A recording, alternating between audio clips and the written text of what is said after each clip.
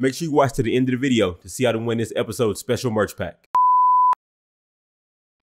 How is it looking? Am I okay? oh, you gave me a courtesy laugh. That means you I have a lot of work to do. Footballs and mud. Two words that together have no correlation to the average person. But to the seasoned football equipment manager, they go together like peanut butter and jelly. And in this episode, we're at the University of Houston to see how they use mud to break in their footballs for Pro Day. I'm Leland, and welcome to Sports Dissected, the series. All right, guys, so I'm here with Mr. Uh, Evan Tucker, UH Football. You're gonna be showing us how to take this retail ball, retail filling ball, and turn it into game ready, right? Brand new and a broken in. Now, what is this process called? You can call it a lot of things. We just call it breaking in the ball. Uh, some guys call it mudding it. It's whatever you want to call it, but it's it's it's a bunch of steps to get it ready for a quarterback to throw. If you gave a quarterback that, he's not going to want to throw it. This is this is kind of the, the standard that we want to set ourselves to. So.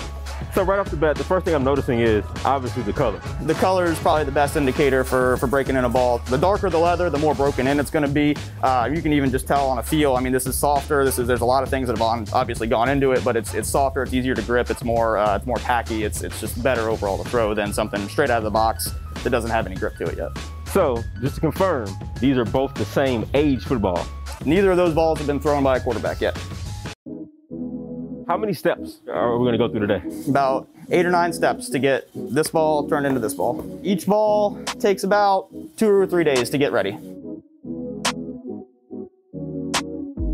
So first step, we're gonna take it over here to this ball brush machine. Uh, I don't use this a lot for balls, but this is kind of like a good, uh, good first step. Uh, you don't need too much technique for this, really. You just gotta take off a little bit of this base layer of film, kind of bring some of the the dimples out of the ball. You can already see just a little bit. The color's already starting to change once you get the bristles on there. Now, can you tell when you, when you pull a ball out of the box, what's going to be a good ball and what's not really going to be a good ball? Yeah, I mean, NFL balls especially, they're they've got a good a good girth to them. Guys like, especially receivers, they like this the wider ball. So there's some balls that are a little bit on the dud end that will will kind of save as maybe giveaway balls. But uh, hop in and give it a try. You can go as, as hard or as soft as you want. You just really you want that color to start changing. You want that layer of film to kind of get off there a little bit, just like that. Okay. Who determines how mudded the ball is or how broken the ball should be? Who do you talk to? So starting quarterback, he's the first guy to talk to about anything football related. Sometimes the offensive coordinator will like to get involved, but uh, it's mostly the starting quarterback and he'll he'll kind of have his own set of specs that he wants balls. Step one, complete. Step one's good. A nice little sheen on it. Yep, yep, we're getting there. So second step is gonna be, we're gonna take some shaving cream to it. Uh, so it's a little bit of a weird step. Shaving cream kind of helps as a little bit of a conditioner for the leather, but it helps bring out some of that red dye that you see in this ball. Because this, this ball's, NFL balls are more red than brown. Uh, so this will help bring out some of that dye, help soften up the leather a little bit. So all you're gonna do is you're gonna sit, you're just gonna take a nice little strip, go kind of down. Okay. Each side. Work it in, massage it up. All right do different teams kind of have different techniques to, to breaking in balls? Everybody's going to have a little bit of their own kind of way to do things. Most of the steps are more or less the same, but there's going to be subtle differences. There's a lot of different things you can do, and everybody kind of learns their own process when they're a student or they're young in the profession. The most important step is probably the mud at the end, especially for an NFL ball to get it looking like that. The biggest step, though, is going to be the leather conditioner that you put on and letting it sit overnight and the heat. It kind of tans the leather almost a little bit. So how, how are we looking? I see it's turning pink. You're looking pretty good, yep. So that's that dye coming out of the ball. We'll let that sit for maybe five minutes or so. We'll take it back over the ball brush. We'll brush that shaving cream off and then we can go on to step three. All right, so we're nice and conditioned? Yep, so we got the shaving cream on there. We let it sit for a little bit. Just brush it off, kind of like we did before.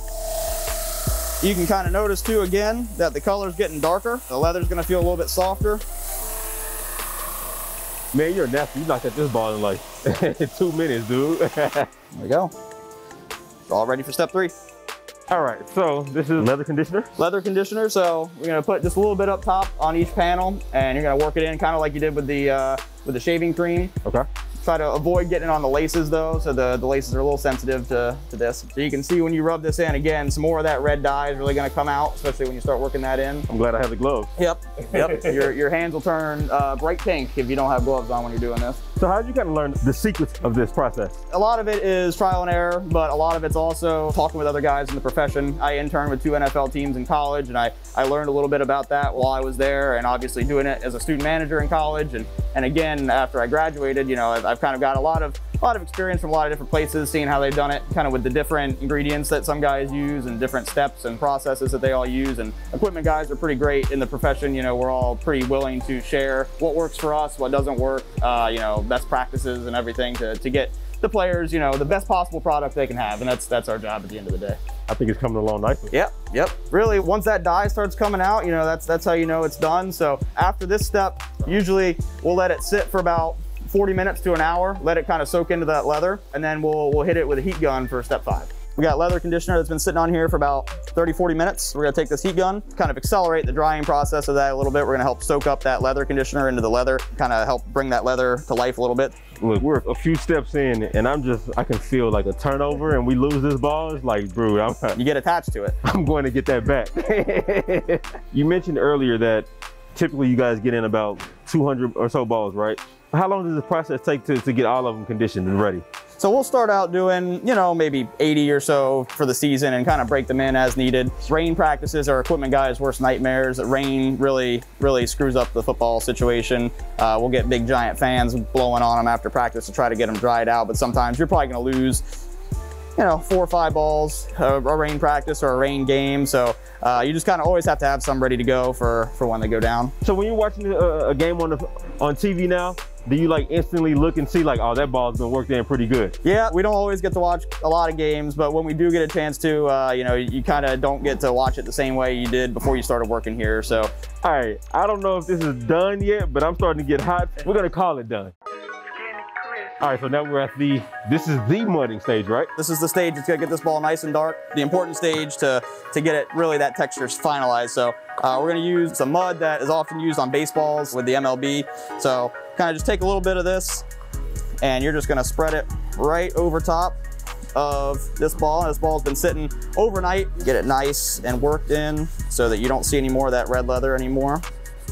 And you can go right over that NFL logo. It'll stay perfectly fine afterwards. So kind of work it into the, the seams and everything. So this is actual mud? The baseball specific mud comes from a certain place on a certain river that uh, has natural minerals and uh, other things in it to really help footballs and other athletic balls kind of bring out their, their full potential. So, you know, if you went in your backyard and used just regular mud, uh, it'll kind of do something similar, but it won't be the same as, as this. So uh, this is kind of a equipment guy's best friend for getting footballs broken in.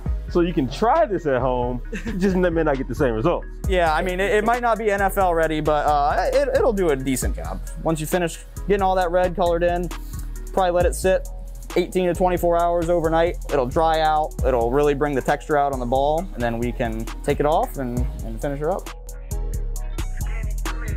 So this ball's been sitting overnight for about 24 hours. So you're just gonna take a damp rag and you're gonna start working some of that mud off. You can kind of see that leather uh, change colors overnight, a lot darker than it was to start. Got to put some elbow grease in this.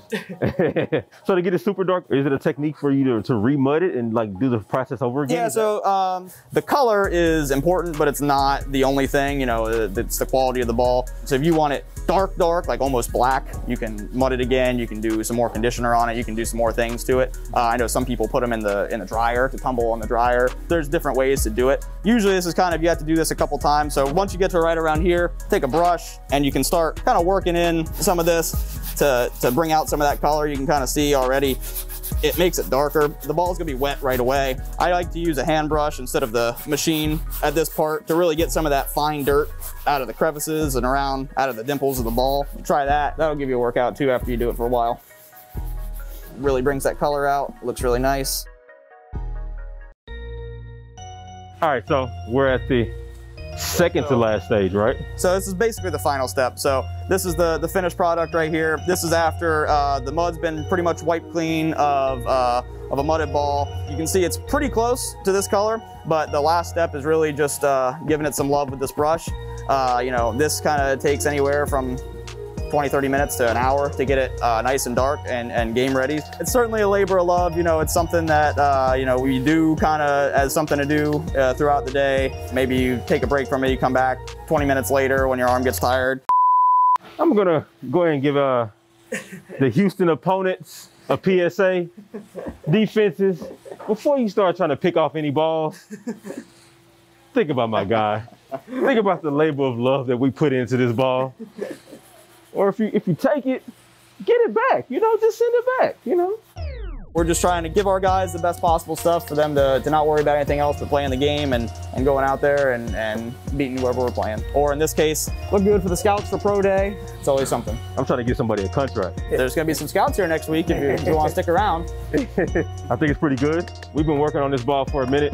I said the last step was the second to final stage because we got to test it out, right? Got to got to give it a test. Let's go do it. Let's go do it. All right. We're here at the stadium. Give her a toss. Let's give her a toss. Yeah. Blue 42, Sports Dissected, set, hit, hit.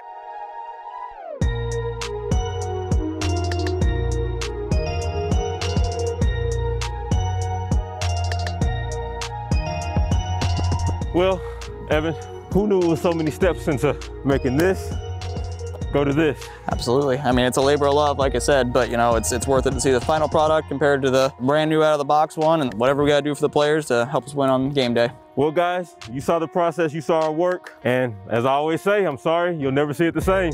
I'm Leland, and this is Sports Dissected. Hey, you know what time it is. Make sure you head over to our Instagram page at Sports Dissected to find out how to win this merch pack. It'll be gone soon, so you better go quick.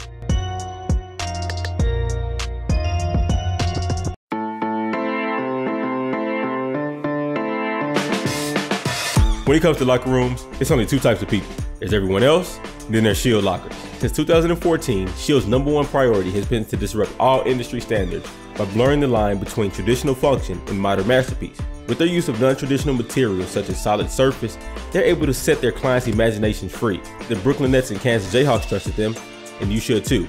Visit shieldlockers.com to unlock your dreams. But beware, because this isn't your father's locker room.